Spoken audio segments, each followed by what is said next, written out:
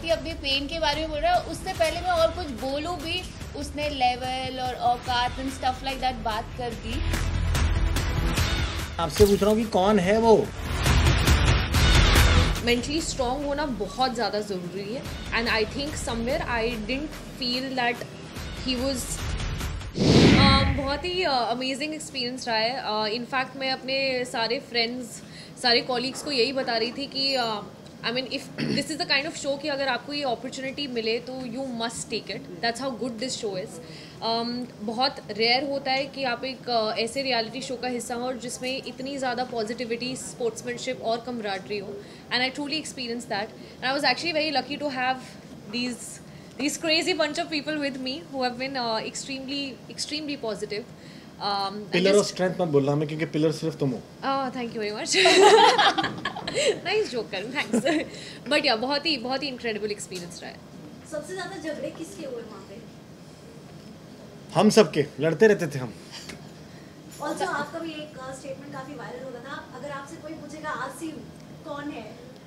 क्या कहना चाहेंगे? वो मतलब हुआ क्या था? सिचुएशन क्या थी पे तो आपको तो मैं यही तो पूछ रहा हूँ मैं कौन है? मेरे को सच्ची में याद नहीं है वो। बट उसके पीछे कुछ तो स्टोरी रही होगी ना। वो जानना चाहते मैं आपसे पूछ रहा हूँ कि कौन है वो मतलब कोई तो है जो आपके साथ वहाँ पे स्टंट करके आया है मेरे को बंदा ही नहीं याद है ना नाम याद आ रहा है कुछ कोई मेरे को याद भी नहीं करा रहा। नियति को है। नियति सब याद रहता है। यस नियति। बताए Niyati. processing and loading right now but मतलब आप जानना क्या चाहते हैं? आई आई आई आपका हाँ हाँ हमारा सबसे ज़्यादा धमाकेदार प्रोमो आउट हुआ।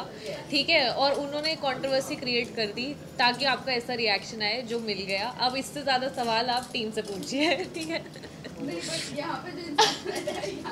No I I know but again मतलब मैं क्या बोलूँ जो प्रोमो में आपने देखा यू you नो know, वो सिर्फ़ एक फन और बैंटरिंग मूड में ही था. इट वाज नथिंग दैट किसी को फाइट इनिशिएट करनी थी या कुछ भी. बट वो एस्केलेट ऐसे हो गए एंड इट वाज दैट बोलो नियति झूठ बोलो। तुम स्कर्ट संभालो। लाइट ऑन है सारी। And that's about it you know उसके बाद तो you will also watch the episode and know कि एक्चुअल में क्या हुआ था।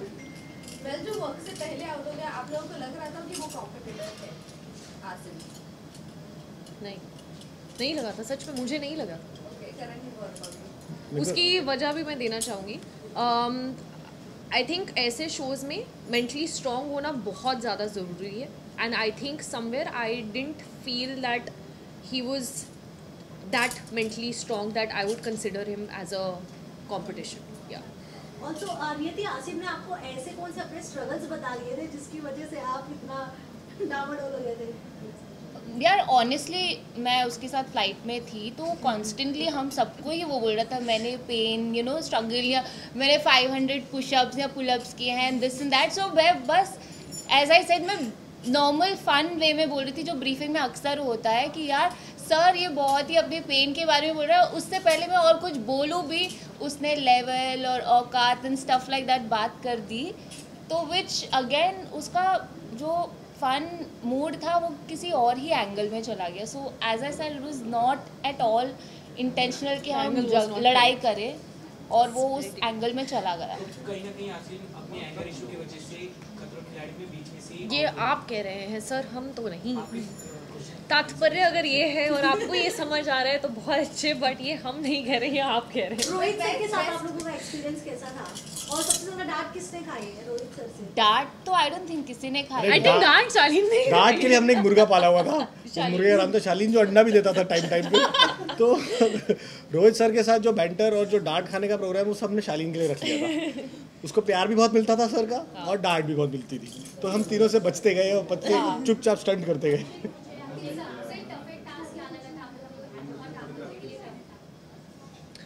तुम्हारा कौन सा? मेरा तो I think cable car and water stunt was difficult water हाँ। चप चप चप चप चप। चप चिड़िया फंस जाती थी पानी में। revealing too much. There are so many spoilers here. Also stunts के बीच में कहीं डेट वेट पे कोई गया था कि नहीं? एक आंसर तो होने दो पहले एक एक का। हाँ।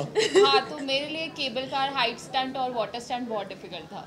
करंट बहुत डर लगता है मैं तो लाइटें बंद करके सोता हूँ अब सब कुछ।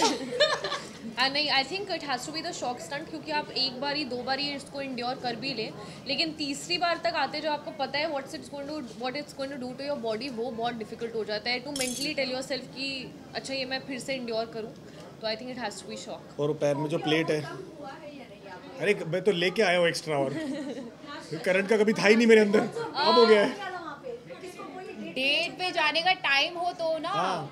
या हम तो अब ये बहुत ही बढ़िया सवाल पूछा है इसने प्लीज़ बताओ ये मैं भी जानना चाहती। ऐसा मैंने सोचा नहीं है। अब सोच लें। अब सोच ले। राइट पे देखें। मौका है दस्तूर है। चल। ये राइट पे देखें अपने तो निमृतता चूज़ कर लो कहीं सुन बे। खिलाड़ी जो नाम है जी। इससे आपको बताया तो मैंने करंट से लगा सबसे ज़्यादा खतरा मुझे। किससे? वो बोल रहे मेरा नाम अच्छा मैंने सबको भी ये बताया आपको भी बता दूँगा हर एक के अंदर एक ज़बरदस्त हुनर था और कहीं ना कहीं वो वीक था। तो वो सिर्फ़ एक कॉम्बिनेशन की बात है कि उस टाइम में उसके सामने या वो कंटेस्टेंट उसके सामने नहीं आया। जैसे जिसमें मैं शौक में रो के पसीने करके काफ़ी लोग आए शुमोना ने ऐसे करा जैसे कि किसी ने धक्का दिया उसको और वो करके आ गई। किसी ने हाइट का कुछ कर लिया लेकिन उसको पानी का नहीं पता। तो ऐसा हर किसी के पास एक बहुत अच्छा तो था बहुत ज़्यादा और लक के बहुत ऊपर डिपेंड करता हाँ, था कि आप किस स्टंट के लिए जा रहे हैं। पहले जा रहे हैं बाद में जा रहे हैं देख पा रहे हैं नहीं देख पा रहे हैं किसके साथ जा रहे हैं किसके ऑपोजिट जा रहे हैं बहुत सारी चीज़ें। और ये हमारा आई थिंक ऐसा बाकी हमारी क्लास की मॉनिटर सब बताइए आपको और बोलो। नहीं आई थिंक हमारा ये ऐसा बैच था जो हर कोई अपने टास्क में मतलब कुछ टास्क में अच्छा भी करता था। हाँ, कुछ स्टंट में अच्छा भी करता था और अगले स्टंट में बुरा भी करता था। तो एंड तक बहुत ही?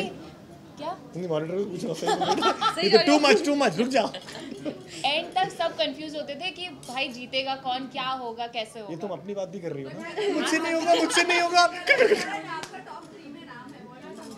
मेरा टॉप थर्टीन में नाम होना चाहिए। है बाय द वे आपके सामने टॉप थ्री बैठे हैं देखिए आप।